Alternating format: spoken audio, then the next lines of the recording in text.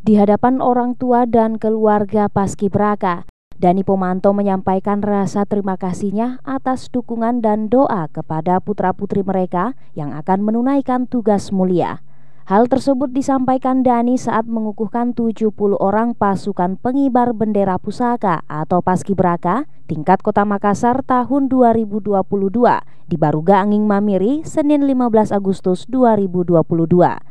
Dan hari ini Alhamdulillah telah dinyatakan siap untuk mengibarkan bendera merah putih pada 17 Agustus nanti.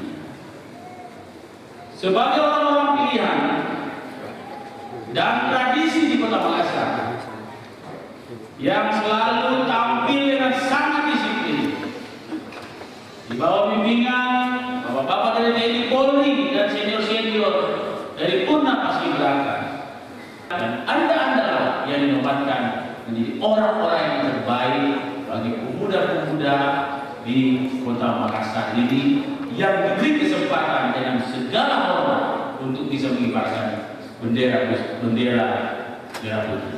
Menurutnya, personel Paski Braka yang akan bertugas pada tanggal 17 Agustus 2022 di Anjungan Pantai Losari, City of Makassar ini adalah putra-putri terbaik yang dimiliki Kota Makassar. Ia juga menyampaikan rasa terima kasih kepada para pelatih, pengapit serta Purna Paskibraka Indonesia yang telah membimbing dan mendampingi Paskibraka angkatan 2022 ini.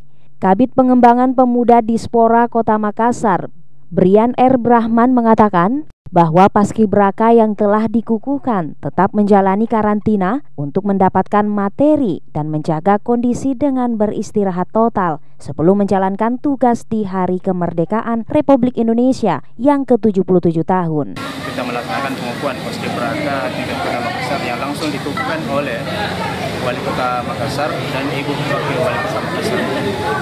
Setelah ini eh, adik-adik akan tetap menjalani uh, karantina dan menerima materi pembelajaran tentang paski beraka dan sejarah Indonesia.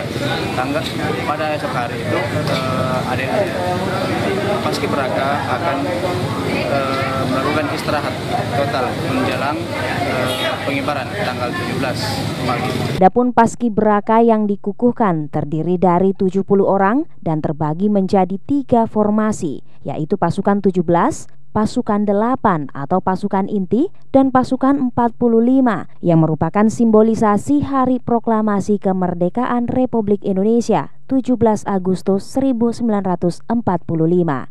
Ical Sahrir, Fajar TV dan Fajar Radio melaporkan.